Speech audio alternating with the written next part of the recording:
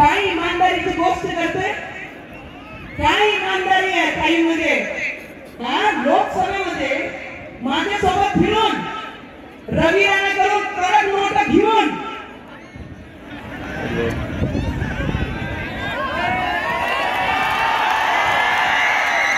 विराट बरोबर आहे ना?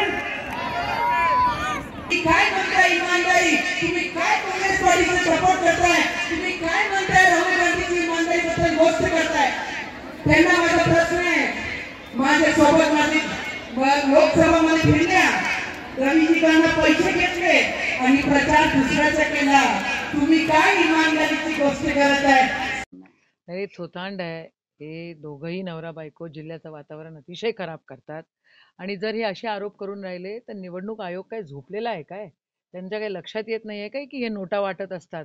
आणि ईडी हे कुठं गेली? आणि उपमुख्यमंत्र्यांना हे काही दिसत नाही आहे का? आम्ही मी स्वतः त्यांच्यावर अब्रू नुकसानीचा दावा टाकणार आहे.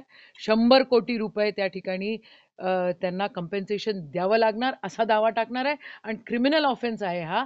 मी क्रिमिनल त्या ठिकाणी कंप्लेन देखील करणार आहे. या जिल्ह्याचं वातावरण अशा प्रकारे खराब करण्याचा अधिकार कोणालाही नाही आहे. हे जनता आहे. हे जनता सब जानती आहे. तुम्ही बघा समोर होतंय आहे काय अजून.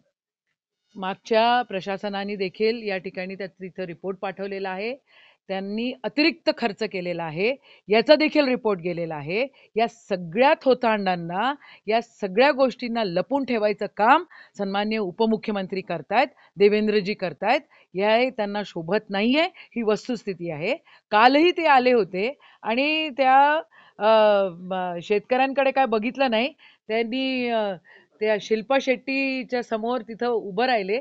अरे त्या शिल्पा शेट्टीच्या नवऱ्यानी ब्लू फिल्म्स बनवल्या.